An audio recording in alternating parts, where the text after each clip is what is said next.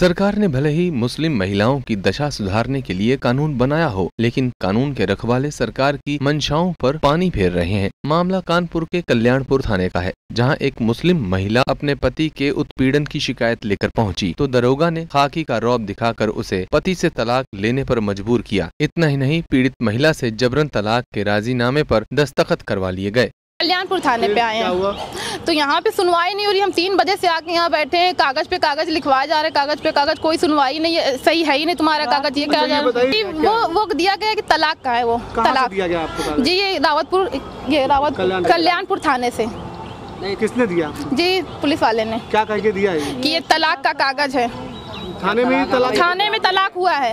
थाने में कह रहे हैं। आप लोग की मर्ज़ी से हुआ है। जी मर्ज़ी से क्या वो पैसे ऐसे दे के तलाक दिया गया पुलिस वालों के जेब में पैसे डाले गए हैं। नहीं आपने कहा नहीं कि यहाँ तलाक नहीं होता। हमने बोला तो वो डांट रहे हैं धमका रहे हैं अब हम क्या कर सकते हैं? आज सुबह एक महिला वहाँ थाने पे गई थी।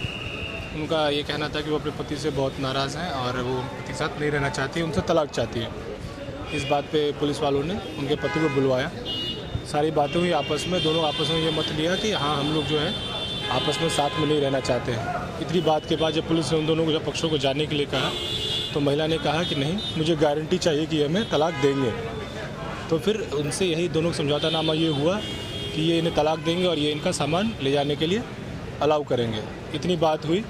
इसके बाद वो लोग जाने लगे, लेकिन फिर थोड़ी देर बाद महिला का हृदय परिवर्तन हुआ।